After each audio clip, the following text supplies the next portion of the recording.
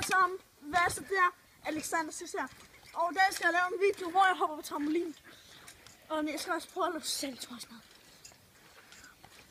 Okay, øhm, nu starter vi.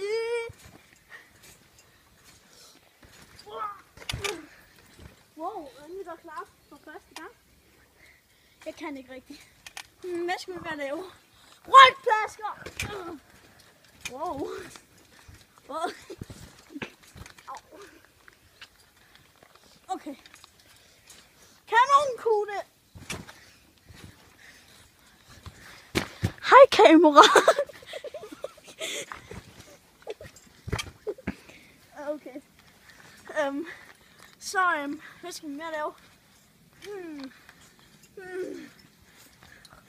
Måske skulle jeg prøve den der salto en gang til. Ja. Um, ja.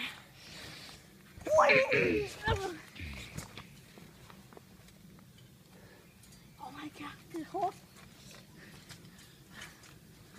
Alt er godt.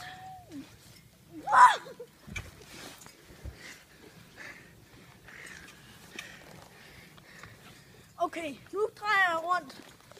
Ui! Au, hovedet. Hopper man lige. Au, au, min fod. Sådan her. Det er et godt tidspunkt. Jeg slutter lige den af på. Hvis I godt kunne lide den her video, så kan I smide en like. Hvis du ikke kunne lide den, så smid en dislike. Du må også gerne abonnere, måske. Du må også gerne abonnere, hvis I kan lide vores kanal for at opvælge.